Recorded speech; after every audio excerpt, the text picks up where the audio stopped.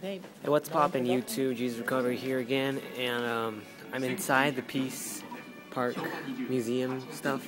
And I'm just gonna show you guys around this whole place, and then, you know, I'll go bit by bit. I'm just gonna give you guys an overview of how this place looks like. So basically, on each wall, it just explains what happened, how it looked like, and stuff.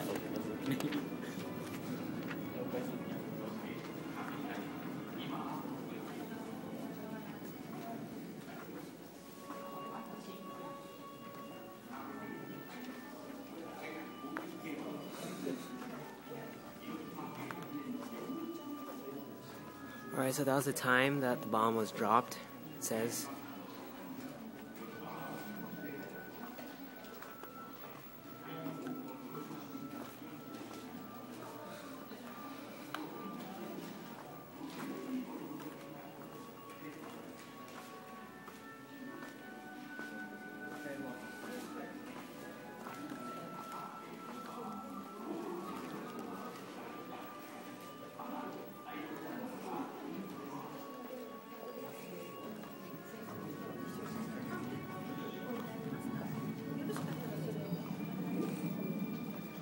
Alright, so I'm done with the first floor, so I'm going to move over to the second floor, see what's up there.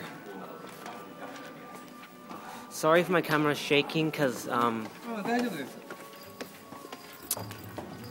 It's on an iPhone, and I can't keep my camera straight.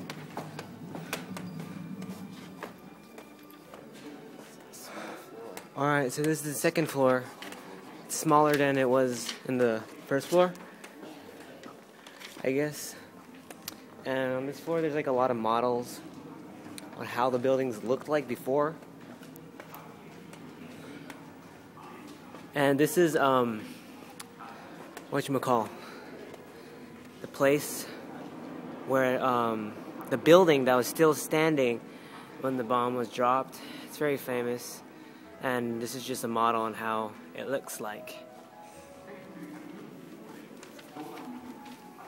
Alright, and this looks like a hospital model of a hospital.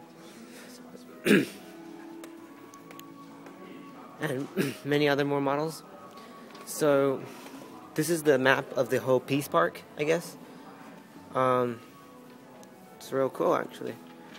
It's real made.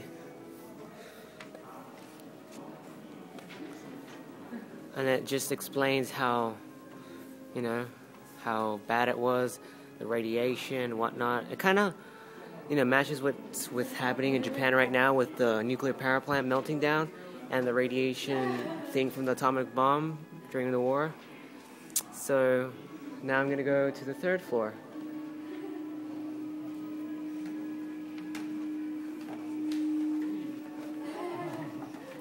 Just give you guys a view from above. Pretty cool, have to say. Alright, so now we're going up to the third floor.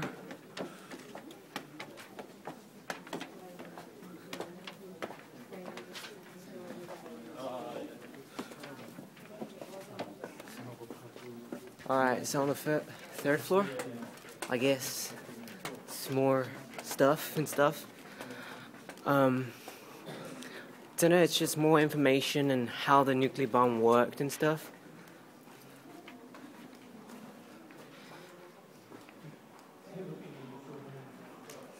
There's a video on when it exploded.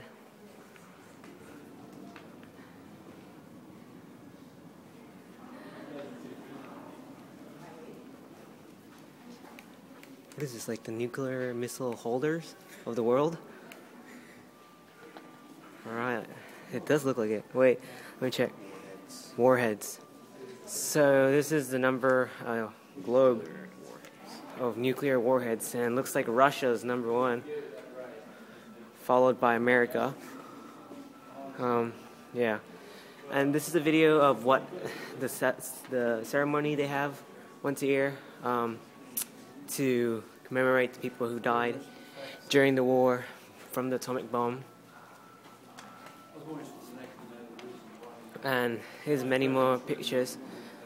And as you can see, it literally fills up the whole place when everyone comes out.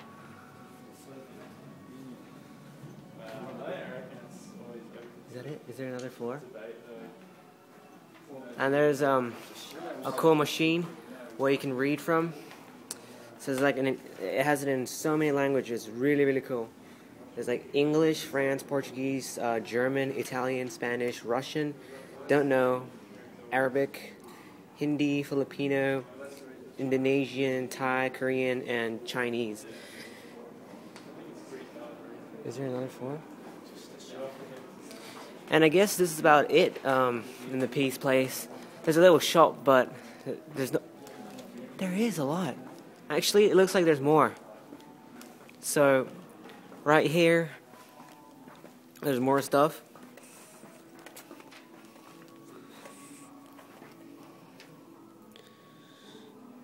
I guess these are. What is this? Gifts? Don't know gotta read, so I don't really know. But um, try to look through more. Right here, they have a store. Well, this is interesting. So, right here, it's real cool. It's a old journal from the days. It says journal um, from what? Uh, from 1945. So that's really cool. And this is a clothes from back in the days, which is also cool. You know, just a lot of things from the war, I guess. Drawings, clothes, everything.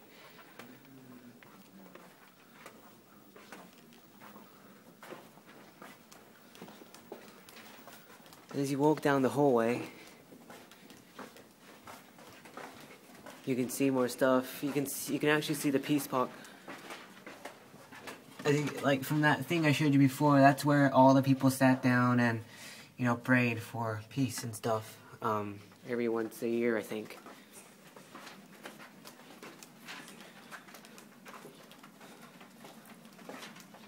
Sorry, my camera's shaking and not so good, but it's the best I can do. And sorry it's long. If you're not interested in the whole thing, it's okay. You don't have to watch it. Just I'm just trying to say that I'm in Hiroshima. Um, you know, looking at the stuff. Ooh.